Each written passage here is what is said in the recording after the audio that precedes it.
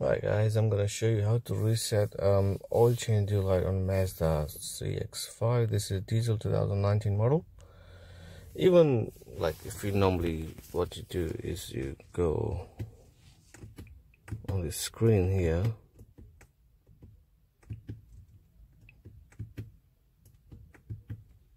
in application like this and then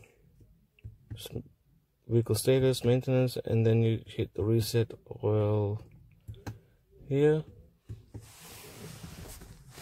So even after it doesn't change this sign here what you need to do you need to hold this. Hold the trip button down without pressing the pedal. Turn the ignition switch twice. So without pressing the pedal press it twice. One and two. And keep holding the trip button down. And let's check again.